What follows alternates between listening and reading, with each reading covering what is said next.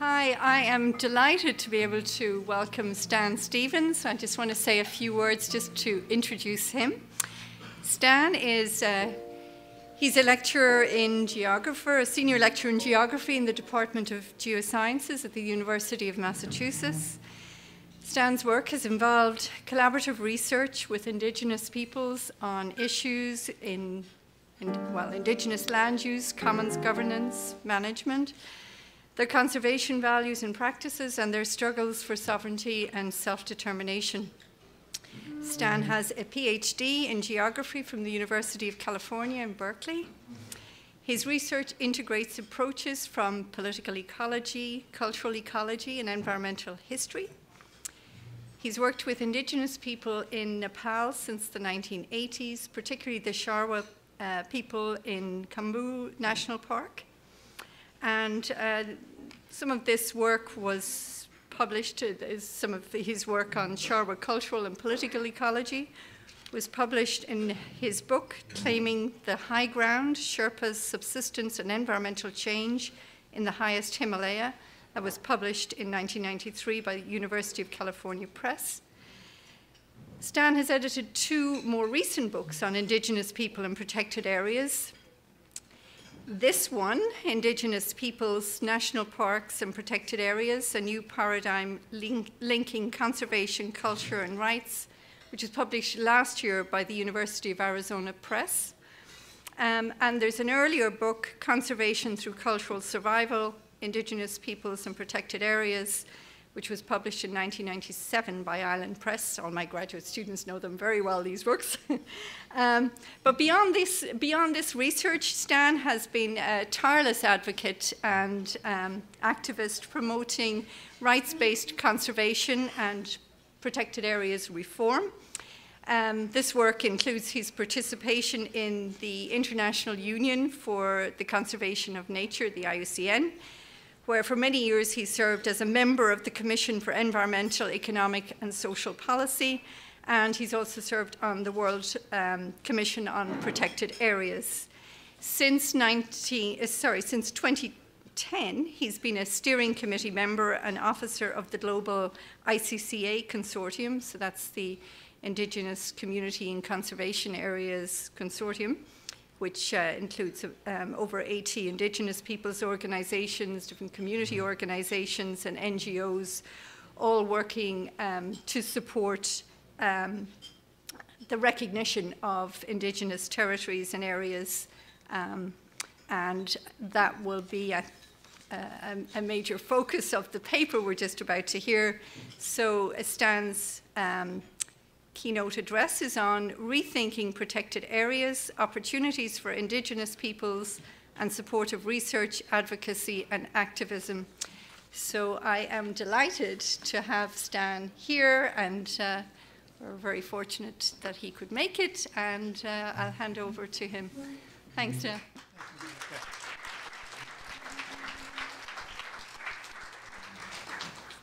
Well, let's see.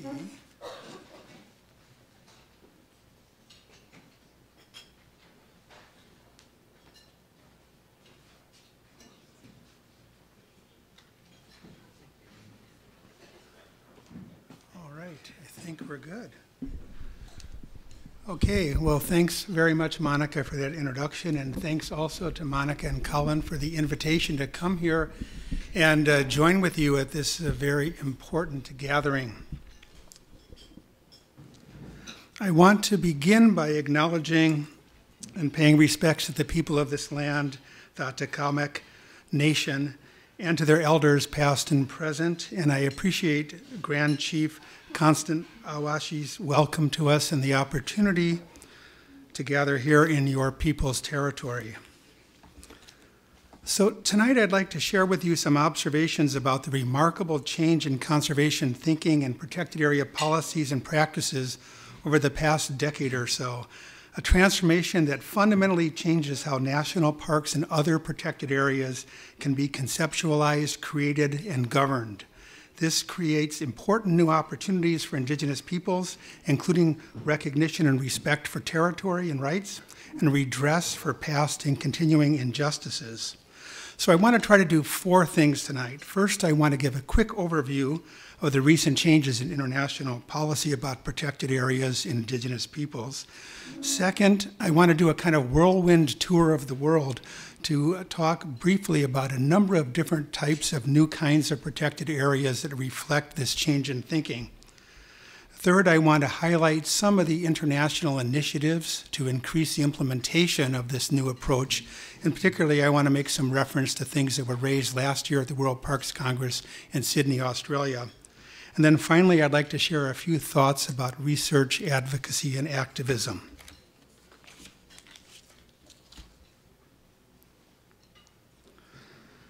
Okay. So protected areas have become central to global biodiversity conservation efforts, and the ways in which they have become envisioned, established, and governed have major significance for many indigenous peoples worldwide. With the proliferation of protected areas in recent years, there are now more than 200,000, administering a total area the size of Africa. These affect the lives of many indigenous peoples, as most of the protected areas outside of Europe are established in indigenous peoples' territories, usually without their free, prior, and informed consent. Protected areas have often been a threat to indigenous peoples because of the attitudes and assumptions that many have been based on. Most of the world's protected areas have been established on understandings of so called fortress conservation, the old protection paradigm, which has several key principles that are extremely problematic for indigenous peoples. Um, these exclusionary protected areas are typically established and governed by states or by other non indigenous governments. They're assumed to be uninhabited with no subsistence or commercial land or marine use. It's assumed that coercive force can be used to create these conditions and construct uninhabited wildernesses. It's assumed that military and other armed units should carry out enforcement and guard borders. And it's assumed that there should be no recognition of territorial rights, no participation in governance, no benefits, no compensation for physical or economic displacement. Um, the United States uh, sort of got this model going a long time ago with that that historic photo from Yosemite uh, kind of is indicative of the attitudes and assumptions that we brought to early national park uh, establishment and governance in the United States. But one of the things to remember about fortress conservation is, although you'll hear a lot tonight about new policies, that fortress conservation continues to be very significant in many parts of the world. There are new protected areas being created based on these principles in Africa and in Asia.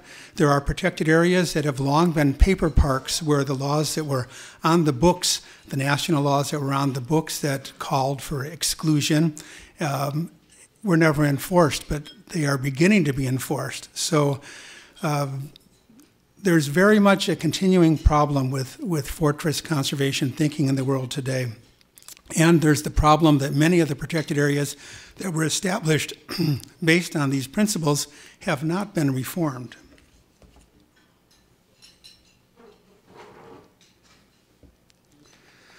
Okay, as many of you know, in the 1980s and 90s, there was the beginning of a, a reaction to fortress conservation, an attempt to think about different ways of doing conservation. So we had community based conservation. We had community based natural resource management. We had integrated conservation and development projects. But um, many of these initiatives failed to address the problem of fortress conservation and protected areas themselves.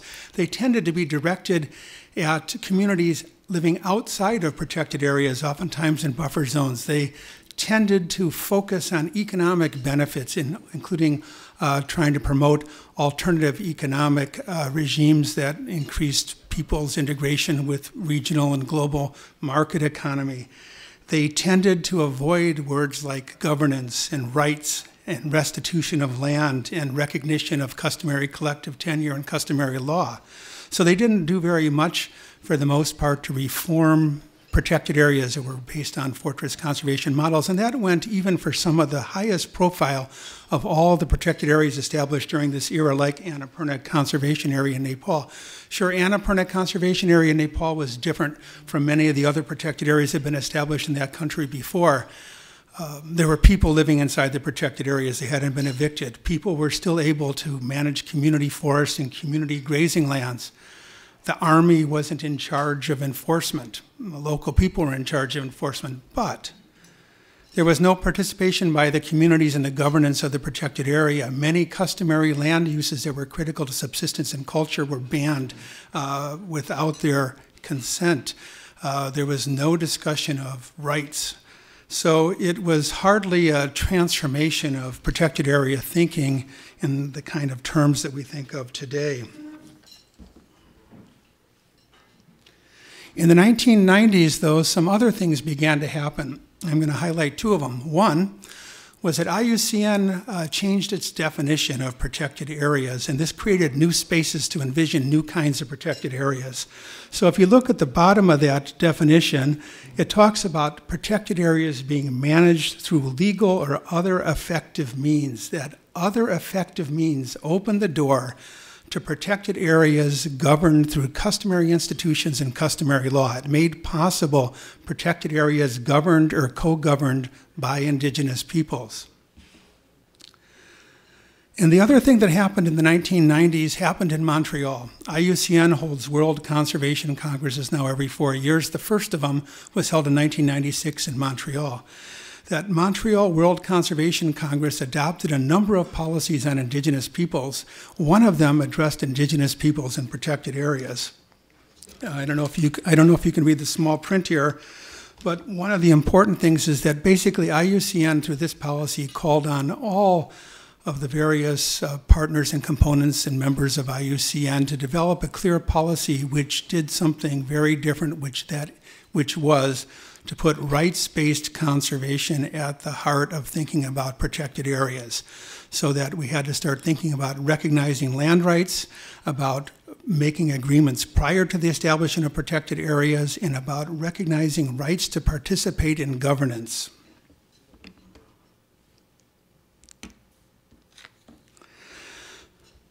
So Montreal set the stage for a kind of a change in thinking about protected areas that uh, was taken much farther a few years later in 2003 in Durban, South Africa. IUCN convenes, IUCN is the International Union for Conservation of Nature, the world's largest conservation network. Government agencies are members, conservation NGOs are members.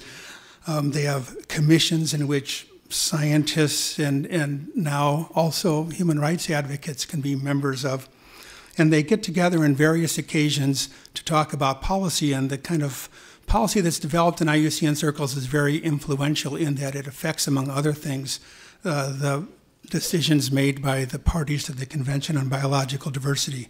So more on that later. But the point is, is that IUCN convenes a meeting every 10 years or so about protected areas, about national parks and protected areas. The one in 2003 was extremely significant. It was the first time at which at a World Parks Congress indigenous peoples were present in large numbers. It was the first time indigenous peoples organized prior to a World Parks uh, Congress. It was the first time indigenous peoples came in with an agenda and came in determined to change policy, came in with a statement to read on the first day of the World Parks Congress as a declaration of the World Park Congress to give a heads up to international conservation that maybe the conversation needed to be different. And here's a couple of passages from that declaration. And as you can see, it's uh, pretty powerful.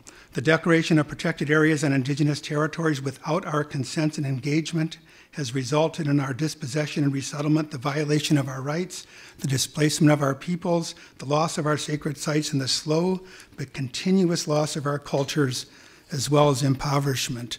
First, we were dispossessed in the name of kings and emperors, later in the name of state development, and now in the name of conservation. But this declaration, very importantly, went on to call not for doing away with protected areas, but for reforming protected areas and envisioning different kinds of protected areas. It called for rights based conservation and protected areas grounded in indigenous peoples' knowledge and practices. So IUCN responded to this challenge. And Durban may have be, been a watershed moment in conservation history because of the policies that were adopted there. The outcome document, the Durban Accord, spoke of this as a new paradigm of protected areas and, and included statements such as the ones you see here. The first one um, urging the commitment of indigenous peoples and local communities. And by the way, it's worth noting that many of the IUCN policies don't refer only to indigenous peoples, they refer to local communities as well. There are some that are specifically focused on indigenous peoples and draw on the rights affirmed in the UN Declaration on the Rights of Indigenous Peoples, but many of the other policies apply also to local communities. And second, that protected areas share benefits. And third, that protected areas recognize, strengthen, protect, and support community conservation areas, what we're now calling ICCAs internationally. Uh, more on that in a few minutes.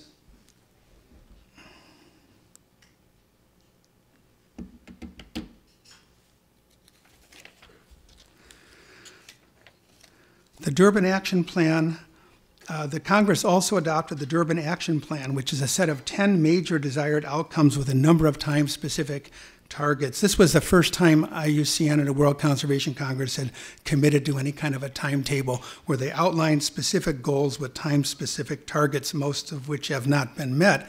Um, but that's an, another question we're going to come to. Outcome five shown here was particularly important in advancing the new paradigm. It calls for the rights of indigenous peoples, including mobile indigenous peoples and local communities, are to be secured in relation to natural resources and biodiversity conservation. And it set up three targets. Uh, the first one called for securing rights and making clear that this applies in all protected areas, existing protected areas, and not just new protected areas, which many countries might have preferred. Main Target 9 stressed that the governance structures of protected areas must include representatives chosen by Indigenous peoples and local communities proportionate to their rights and interests. So when you have a protected area established on the territory of an Indigenous peoples, their rights and interests involved in that protected area are great indeed. And Main Target 10, maybe the most controversial of all of them, calls for restitution of lands that were incorporated into protected areas without free, prior, and informed consent. In the years past Durban, uh, IUCN has put into place a whole set of policies and programs that embody the new paradigm, among them the initiatives shown here. If we had about a week to look at this, we could uh, get into the policies in depth, but uh, believe me, they've been expanded and, um, uh, and developed over the past decade. The new paradigm has also been adopted to some degree by the state parties to the Convention on Biological Diversities and decisions of the CBD and its program of work on protected areas. So, as many of you know, the CBD is an international treaty. It's the treaty that uh, is most engaged with protected areas. And as a treaty, its provisions are considered to have greater weight than IUCN policies with ratifying states. And ratifying states here include all the members of the United Nations except the USA. So you can see here that this is a, uh, one of the technical reports of the CBD, so published by the Secretariat of the CBD in Montreal and written by members of the ICCA consortium about ICCAs, about indigenous peoples and community conserved territories and areas. Uh, and launched at a, a, conference of the parties of the CBD by the uh, secretary of the CBD in a special event so the CBD has become to strongly support ICCAs. It's maybe worth saying a couple words about ICCAs now because there's a it's a relatively new term. There's a fair amount of confusion about it, in part because it's being used in different ways uh, internationally. So, first of all, ICCAs an umbrella term. Uh, the CBD refers to indigenous and community conserved areas. That's where the ICCA comes from. IUCN is now using a longer phrase indigenous peoples and community conserved territories and areas. Uh, both the CBD and IUCN are using this uh, acronym ICCAs.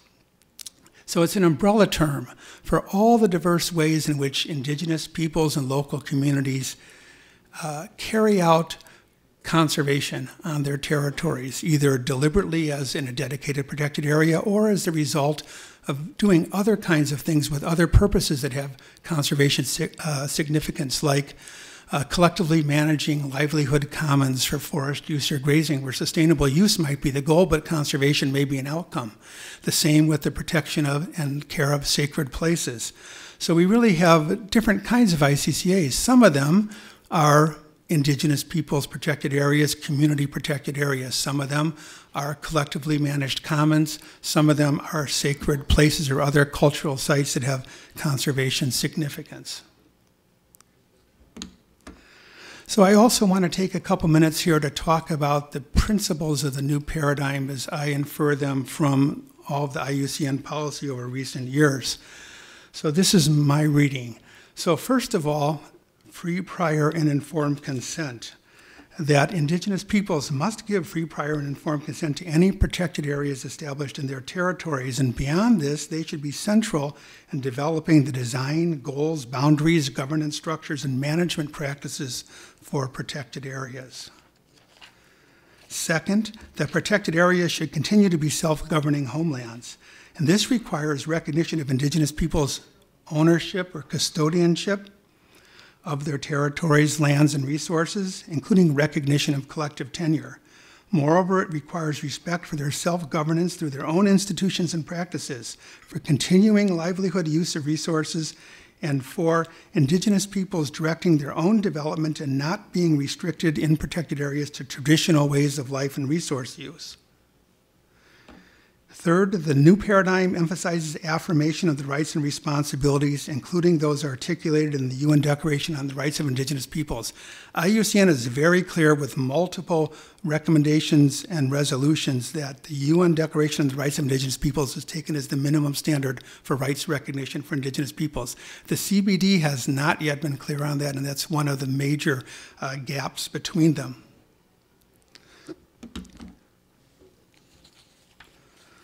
Fourth, that protected area conservation policies and practices must respect, support, and take as their foundation Indigenous peoples and local communities' values, institutions, and practices. And fifth, the Indigenous peoples must participate fully and effectively in the governance of protected areas. And the whole discourse on protected areas has shifted away from management, the specific things that need to be done on the ground, to governance, to who makes the decisions and how they're made. And finally, that Indigenous peoples must share equitably in a full range of benefits from Indigenous, uh, sorry, from protected areas. So this kind of shift in thinking has led to new kinds of protected areas being established. You're familiar with some of these in Canada.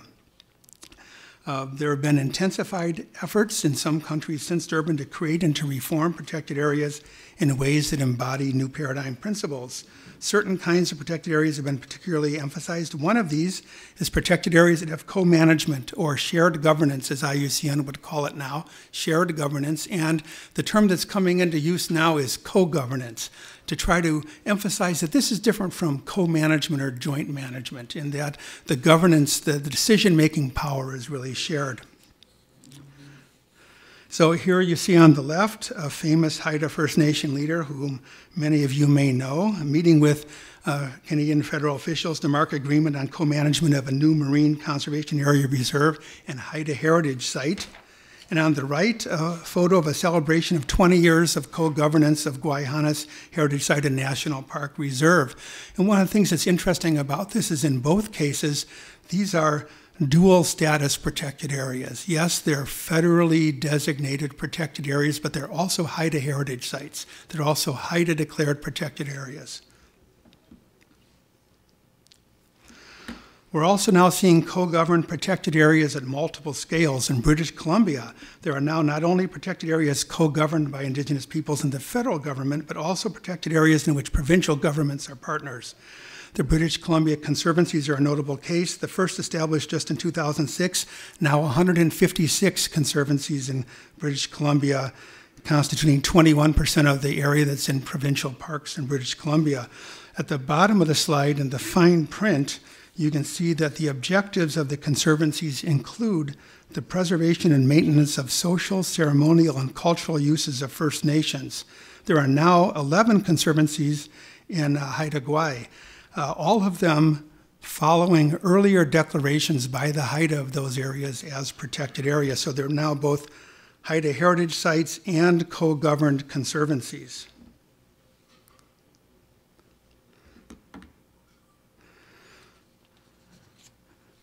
So I thought I'd put this in to uh, give a sense of uh, some of the dynamics in co-governance. I mean, we're seeing a number of countries come forward with sort of con conditional co-governance.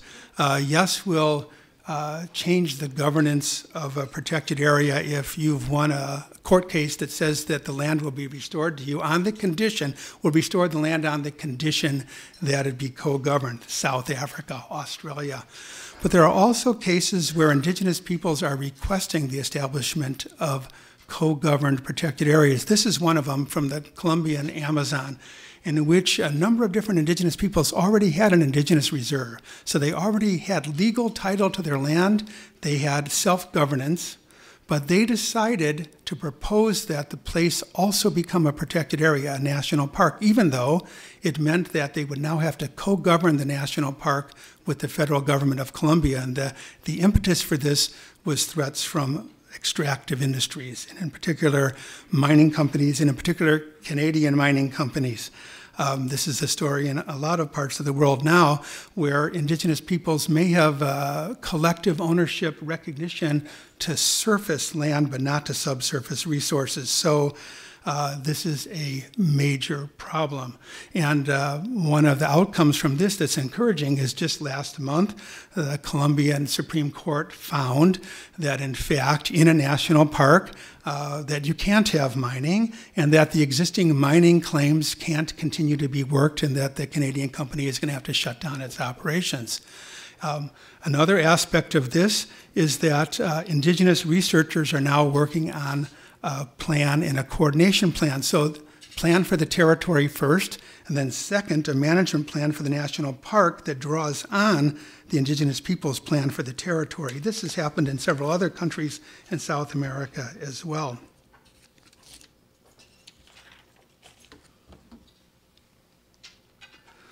So there's been a lot of experience now with uh, co-governance, uh, some good and some not so good.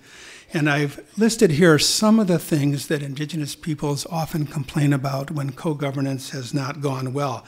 In some cases, it's not gone well so far, uh, and it's only been underway for a few years, and people are establishing working relationships, and maybe things will change. But if you look at the kinds of things I've listed here, you can see that there's some major structural impediments to real sharing of power and recognition of fundamental differences in life experience and values and aspirations for conservation and development in a territory. So there are going to be real challenges with making co-governance work effectively in many countries. So there's a lot of interest in a different approach, which is protected areas governed by indigenous peoples and local communities. And we're beginning to get more examples of these. Uh, indigenous peoples protected areas, community protected areas established by indigenous peoples and local communities on their own territories. This newspaper story celebrates the 2002 declaration in Australia of what became the largest terrestrial protected area in Australia. And the sign that's being the sign that's being held up, if you can't read it, says Southern Tanami Indigenous Protected Area, managed to world conservation standards by the Aboriginal landowners and the Walpiri Rangers, Indigenous Rangers, with support from the Central Land Council. In Australia, since the late 1990s, a large set of Indigenous protected areas has been declared. These now encompass 40% of the Australia Protected Area System, extend, and they extend across an area that's double the entire size of the U.S. National Park System, all established since the middle 1990s. At least 20 more indigenous protected areas are in development. So these are self-declared, self-managed protected areas that have some degree of recognition and support from the Australian government. They're being widely celebrated as having helped Indigenous peoples return to country, including people who are returning to rural areas from which they've migrated. They've helped revive management practices such as the use of fire. They've increased intergenerational transmission of knowledge. They strengthened conservation and ecological restoration. And they've created jobs and business opportunities in rural areas, including in ecological restoration work. So there are also indigenous or community protected areas in several countries in Africa. I know you're going to be hearing about these in the coming days. The communal conservancies of Namibia are notable because, like the Australia indigenous protected areas, they're recognized by the central government as part of the protected area network. And there were, as of last year, 82 of these inhabited by 175,000 people, covering half of community land and nearly a fifth of the total area of the country.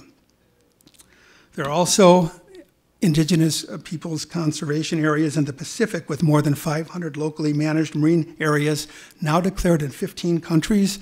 These kind of locally managed marine areas are also being declared in parts of East Africa now and in Madagascar. There are also indigenous peoples protected areas in the United States. There are tribal parks, and there have been for a while. Um, the Navajo Nation began establishing tribal parks in 1958 with this Monument Valley Tribal Park. Other tribes have established tribal parks and wilderness areas since then. So these are self initiated, self governed, protected areas on reservations. There's been talk of the first tribal national park in the United States, and this is an initiative to restore Lakota self governance of part of their homeland that's been incorporated into Badlands National Park. The National Park Service has approved this as its preferred management alternative for the future of Badlands National Park, the southern part of it. The tribe continues to discuss it, and there are some real issues uh, over grazing leases, especially. There's also the issue of whether or not Congress would have to approve the so called handing over of governance authority to an indigenous people, which has never happened with a national park in the United States before. So it is not a done deal, even though the director of national parks in the U.S.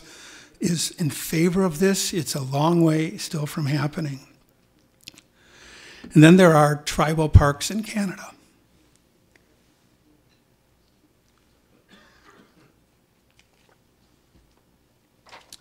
So, as many of you may know, the Tla-o-qui-aht on Vancouver Island established their first tribal park in 1984 to prevent the logging of a sacred forest. Since 2007, the Tla-o-qui-aht have declared all of the rest of their customary territories to be several different tribal parks and have established a zoning system for them. In the most recent case, they declared an area tribal park in part to stave off an unwanted mine.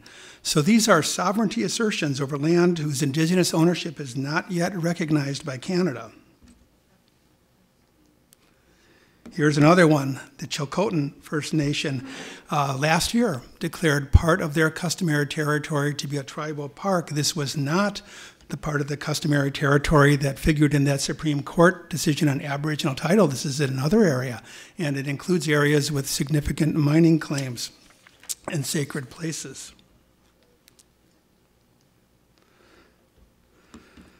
There are also examples of strong initiatives by indigenous peoples to create protected areas and to gain their national recognition that have not yet uh, achieved their hoped for results. One of them is from Guyana, the Wapichan people. So, in this case, in 2012, after five years of extensive community meetings and 11 years of indigenous mapping projects, a group of 20 villages working together for the first time came together with a territorial plan, which they called Thinking Together for Those Coming Behind Us. As part of this planning process, there were a large number of community agreements and inter-community agreements, the first of their kind ever, about forests, to establish conserved forests, to declare half of the entire Wapichan customary territory a conserved forest in ICCA. These maps and plans, though, you have to understand are part of what's now a 40 year effort by the Wapichan to get recognition of their customary territories. And There's some urgency to this now because pressure from mining and industrial logging are threatening their territory. They hope by having this planning and mapping process to get recognition of tenure over their territories and stop extractive in industrial invasion, but the government of Guyana so far has been ignoring them. Here's another example of something that didn't go quite the way we'd hoped it would be. This is from the Mount Everest area where I work, the Sharwa or Sherpa people in Sagarmatha Mount Everest National Park and World Heritage Site. So this is a customary Sherpa territory or Sharwa territory. Mount Everest is that pyramid-shaped mountain on the back left there at the foot here is the largest of the Sharwa villages inside the national park. So the houses and the fields right around them are not part of the national park. Technically, they're an enclave of private land. It's considered part of the buffer zone. Everything else in that photo is national park land. Everything else in that photo was nationalized in the 1950s and 60s in people's lifetimes. And um, national park declared, the, uh, the government, central government took governance control over the area, the customary local institutions ceased to be legal, although most of them continued to be carried on. And everything in that photo continues to be governed by the communities. The collectively owned, even though collective ownership isn't recognized by the state, the communities recognize collective ownership and responsibility for stewardship of collective, customary collective lands. The collectively governed forests, the collectively governed rangelands, grazing lands, the sacred places, the sacred mountains, the sacred lakes, springs, forests, trees, rocks, boulders, and the entire area is considered to be sacred, a sacred valley, so that the Sharwa people have um, self-dedicated themselves for centuries now to the protection of this area as a sacred valley in which no wildlife are killed. So there's no hunting, uh, there's no killing of domestic livestock now within this valley. So in 2008, uh, concerned, as they have been for a long time, that their land uh, tenure was not being recognized and their customary institutions weren't being recognized, and there wasn't good respect and coordination between the state governed National Park World Heritage Site and the communities. Sharwa leaders decided, after having attended some workshops in Kathmandu in which ICCAs were discussed, that uh, I remember them coming out of the meeting and saying, we have an ICCA, our whole territory is an ICCA, and we want to declare it to be an ICCA. And they decided to go ahead with that, and they had a community meeting, self declared it as an ICCA, made very clear that they weren't uh, undermining the existence of the national park, that they wanted a dual designation. They wanted to be respected as self governing their territory and contributing to the conservation achievements of the national park. People would say we are responsible for 80% of the conservation success of the national park. The national park is largely on paper. What's happening with conservation on the ground is being done by the communities. So they did that, and this led to them being charged with having held illegal meetings and uh, carrying out illegal actions and being forced to retract their declaration, being ordered to give a public apology, which they refused to give, and the leader said, send us to jail instead. Uh, they um, ran into a major national controversy uh, about sovereignty and, and rights. And the, the conflict was toned down a little bit, but the tension is still there, and the Sharwa are continuing to try to work with the government to educate government officials. When things were at the height of the crisis, 18 Sharwa leaders from all of the regional NGOs sent a letter to the Director General of National Parks telling him that if he continued to misrepresent who they are and what they want in the national press, that they would be forced to take educational actions implying strikes and so forth during tourist season. And that helped diffuse the situation. The, the Director General of National Parks gave no more interviews to the press after that. But at the same time, there was on there was behind the scenes discussions going on between the ICCA consortium and IUCN and the National Park Department as well, trying to remind Nepal about international policies and standards. Um, so Here is a positive example of the same sort of thing, of an overlay of a protected area over indigenous peoples' territory where indigenous peoples continue to carry out conservation in their territory and where they want recognition of this. And this is in the Philippines, uh, basically the equivalent of a national park, category two natural park, overlapping with six people's indigenous territories, including the sacred forest shown in the lower left. The people who had the sacred forest wanted their authority over the sacred forest recognized in order to protect it from tourism and from potential mining threats. And they campaigned for this, and they did it in a different way from what the Sherpas did in the Everest area. And they got a pilot GEF SGP project. They did mapping and documentation. They got a listing in the UN Environmental Program's new global ICCA registry, and they got recognition of their self governance of this as a zone within the national park in the management plan of the park, which is co governed. So, a, a, totally different outcome, but also a different situation with a co governed protected area. So, what we're seeing now is that uh, Indigenous peoples are very aware that there's a widespread and serious implementation gap that uh, we have international policies uh, have been adopted, which are pretty progressive, but there's a problem with implementation on the ground. And this implementation gap is between different countries. It's also between different protected areas and kinds of protected areas in a single country. Sometimes there'll be one or two protected areas where, as a result of, of an indigenous people's campaign and, and a long period of struggle, there's been a change uh, and a reform. But this didn't apply all across the system. It was a single case, and usually governments try to make very clear that no precedent is being set.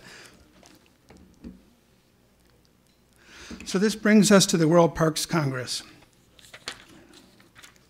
Last autumn in Sydney, Australia, I know some of you were there, and it was pretty striking the difference in tone because this was the first World Parks Congress since the one in Durban in 2003, where Indigenous peoples came and confronted conservationists. Instead, we had on the first day of this World Parks Congress the president of IUCN, uh, Zhang Xinsheng coming up on stage and giving uh, opening remarks in which he highlights the importance of indigenous peoples to global conservation and saying, remembering and recalling Durban and saying, we established at Durban a new paradigm. We ushered in a new era of respect for the rights of indigenous and local communities linked to their responsibility as custodians. So the World Parks Congress was a big event. 6,000 people, 170 countries. So people come back with very different impressions from what happened at Sydney. I may have said Durban, but at Sydney. I was particularly involved with two of the eight streams of workshops. Stream six, which the ICCA consortium helped organize on the diversity and quality of governance, and stream seven on respecting indigenous and traditional knowledge and culture. So my impressions of the Sydney World Parks Congress are based on being in these groups over the time we spent in Sydney and my reading of the Promise of Sydney, the outcome document from the meeting.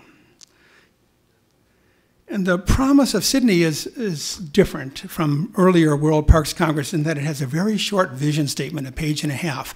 And then it has many recommendations from the different workshop, which have been posted online.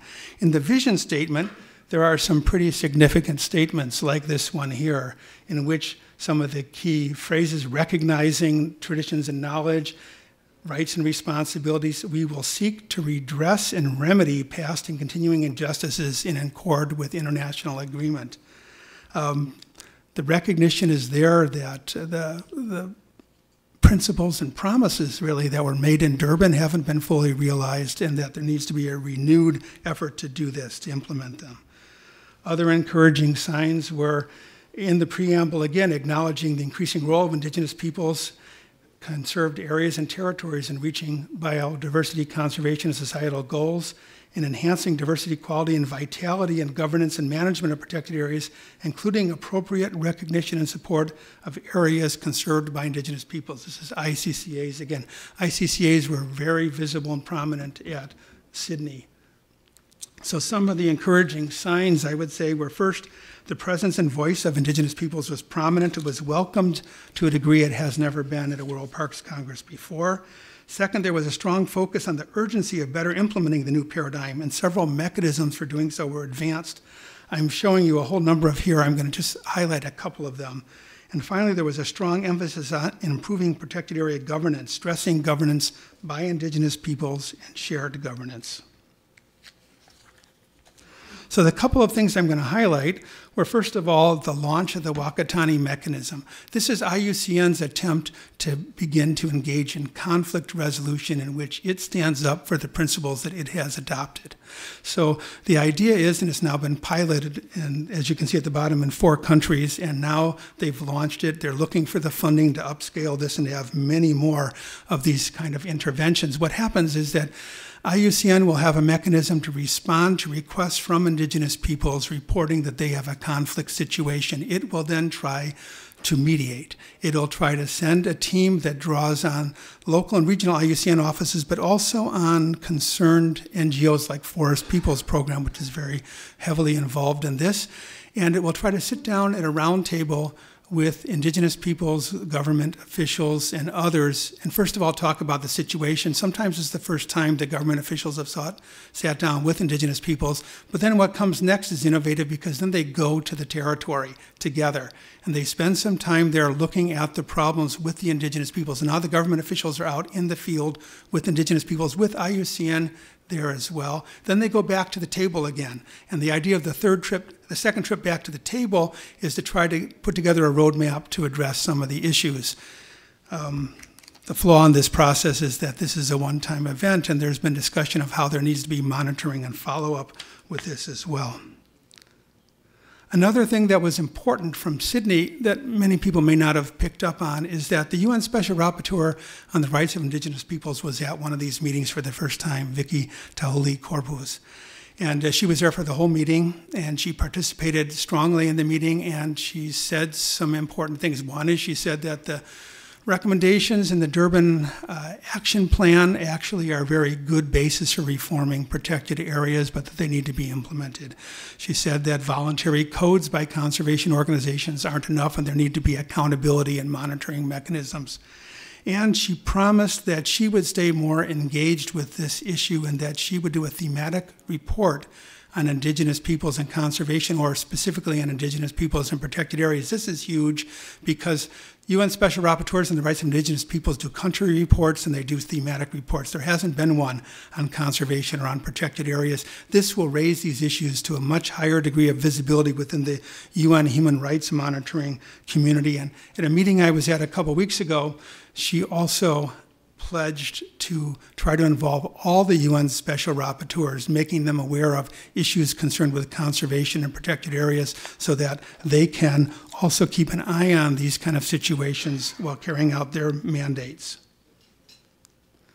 And one other development I want to highlight was specifically concerned with ICCAs, and that was a pledge by the German government to do more in support of ICCAs. So the German government, a couple of years ago, uh, pledged to provide $16 million in support for ICCA related work. And as a result, in 2003, a global ICCA support initiative was formed. And this is the ICCA consortium with uh, the Global Environment Facility UN Development Program, small grants program, with the UN Environment Programs and the World Conservation Monitoring Center's Global ICCA Registry, a, a list of ICCAs uh, and the IUCN Global Protected Area Program, which is going to get more involved in doing protected area governance assessments, which can include the status of ICCAs in existing protected areas.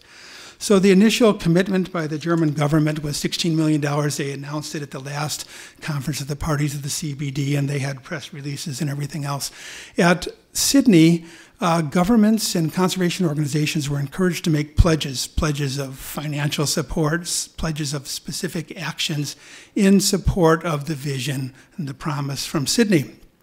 And to somewhat to our surprise, because this had not been discussed prior to that, the German government decided that it wanted to up its commitments to protected area governance in general, but to ICCAs in particular. So they raised the $16 million that they had already provided us to $100 million yeah, over 10 years. So there's now significantly more funding. Now, a small part of that goes to the ICCA consortium for its operations and for its advising work with UN Development Program and with the UN Environment Program.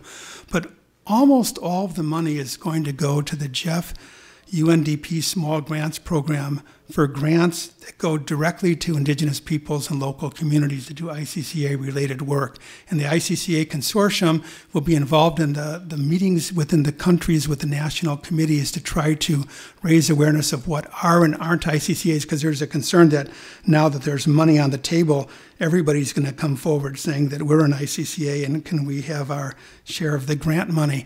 Uh, but there's going to be an educational process, but there's also going to be the opportunity for much more research, documentation of ICCAs, and work, community activism in support of ICCAs by communities made possible by this funding. So I haven't said anything about the ICCA consortium, and you know we decided in 2008 to form the ICCA consortium in, in, the hopes of being able to do something outside of IUCN and draw on different funding and do different kinds of things that IUCN wasn't able to do. And it's really more of a movement than an organization. It's an alliance of indigenous peoples, local communities, indigenous peoples organizations, community organizations, and NGOs that support ICCA related work working at all kinds of levels grassroots, national, international, regional, and global in the policy arena. And we have partnerships and working agreements, particularly with the Secretary of the Secretariat of the CBD and with IUCN and UNDP and UNEP. So I'm, now come to the final few words. And uh, I want to say something about research, advocacy, and activism. I want to start out with advocacy and activism, and I want to stress a couple of points. First of all, there is more need for international advocacy. I already mentioned how the CBD has not fully engaged with all of the principles that are already embodied in IUCN policies, and there's political reasons for that, and it's going to be a long road ahead to achieve that, but there's work that needs to be done, right? But the big thing that needs to be done at this point is at the national level the role for advocacy at the national level is huge because of that implementation gap. And that this has to happen at all levels. In some countries, it requires constitutional reform efforts. In some, it requires national law and administrative rules, national policies and plans. And oftentimes, it requires changing institutional cultures within the agencies that have been involved with protected areas. There's also a need for advocacy at local level to raise awareness of the UN Declaration on the Rights of Indigenous Peoples, the policies that have been adopted by IUCN and, this, and the CBD decisions that pertain to rights and protected areas. In terms of activism, I want to first stress community activism because I think that the key thing here is the crucial work that has to be done to keep alive the knowledge, the values, the livelihood and management institutions and practices that have been the basis of indigenous people's stewardship of their territories. In a lot of parts of the world, this is really being severely challenged, and it's our hope that the German money through a UNDP small grant program will go to a lot of these kind of projects for strengthening ICCAs. There's also a major need for doing new kinds of things, the kind of thing the Wapichan have been doing. Uh, meeting with communities and developing regional territorial plans, uh, putting in place monitoring and assessment, and raising the awareness of what your conservation achievements have been. But there's also a role for multi-scale collaborative advocacy and activism, and here reforming protected areas as well as advocating new ones. And there's so much that needs to be done in terms of the priorities. I know many of you here in the room are working on various projects that directly pertain to these kinds of priorities. And as you know, there's also a role for multiple strategies and tactics. And I think we're you know, finding in a lot of countries that awareness raising isn't enough, at least unless you're prepared to wait for several more generations. And that there have to be direct engagements on the ground in emergency situations for blockades and campaigns to stop things that are happening now and delay what's happening now long enough to try to mount larger campaigns and movements that change change people's minds, but also change laws and policies. So there's a, a big role for uh, for all of these things, including legal action and and teaching the tools that enable these things to be done. So, research is critical for both those things for the advocacy for the policies and the legal change, and for the activism on the ground and at different scales.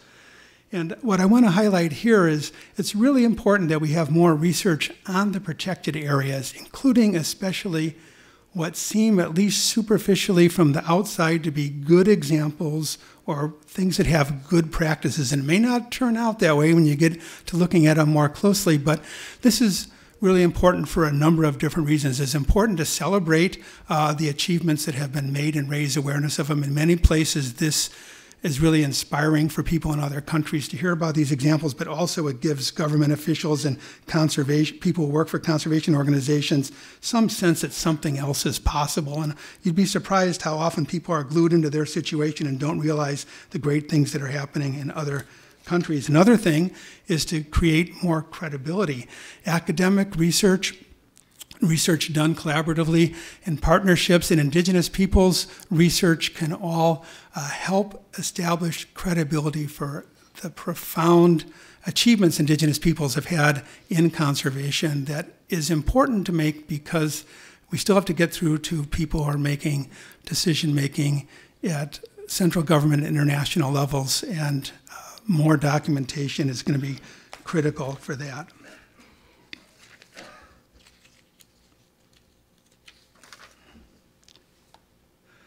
So as you can see, there are many different kinds of projects that can be done, and um, I think many of you, we're going to be hearing about a lot of these things in the coming days. But what I encourage you to do is, those of you who are working with indigenous peoples, uh, to sometimes uh, if they're still inhabited protected areas in the country you're working in, to try to begin to do research on the situations in those protected areas and not just in the buffer zones. And then this is sort of my, my final message is that I hope you can find ways to support indigenous research. Um, that's what we're trying to do through the GEF SGP projects, right? And in some countries that may work, and in some other countries that may not work. So much has to do with the national committees and what they will and will not fund. When the Sherpas came in with their proposal, which has now been funded, and said we want to have community meetings, we want to do a regional plan, they were told informally Yes, yes, yes, yes, yes, but we don't want to fund community meetings. Do something concrete. Put up fences was the first suggestion, fences and signs. And so uh, they've tried to negotiate some compromise where they can do a little bit of that and a lot of other things. Yeah, but the second thing, though, is to make use of your connections to fund Indigenous research. And this is the role for large collaborative projects where you try to make space in those large collaborative projects for research initiated by Indigenous peoples, carried out by Indigenous peoples, uh, with the funding from the academic or the non academic uh, funding agencies. And then the second thing is to respond to requests. And in order to do that, you have to have the long term relationships with the Indigenous peoples and communities. You have to talk with people before you write the grant proposals. You have to try to get their priorities into the thinking that informs the proposals and ideally write the proposals together, right? But to respond to requests, to use research as a, as a agent of change. So this just brings me to my conclusion. So I'd say while an important beginning has been made by envisioning a new paradigm of protected areas and integrating it into international policy, there remains the great challenge of having this incorporated into national law and practice worldwide. In many countries, this is going to require a multi generational struggle. It's going to be as big as trying to implement the UN Declaration on the Rights of Indigenous Peoples. Uh, but what has been accomplished already is remarkable if you compare the situation today with a situation 10 or 20 years ago, in which the taken for granted conventional wisdom didn't imagine protected areas governed by indigenous peoples or co governance arrangements, and it didn't imagine protected areas based on different understandings of what conservation might be that weren't as ethnocentric as the ones that have driven international policy so much. So there is now a new vision of protected areas. This has become central to international policies and guidance, which is no small thing in itself. And there are new kinds of protected areas that are not only being imagined, but are being realized on the ground. So there are important precedents being established and experience being gained. In the past few years, we've begun to move from protected areas being major threats to Indigenous peoples, territories, ways of life, and existence as peoples to protected areas becoming opportunities and means to realize recognition of territory and tenure, restitution of territory, affirmation of rights, self governance, and conservation through stewardship of territory. I know that many of you are working on these kind of issues now. I encourage the rest of you to get involved with it. There's a lot of work to do and kind of a long struggle ahead, but I think a lot has already been accomplished and there's a lot of prospects to go a lot farther with it in coming years. So thank you very much.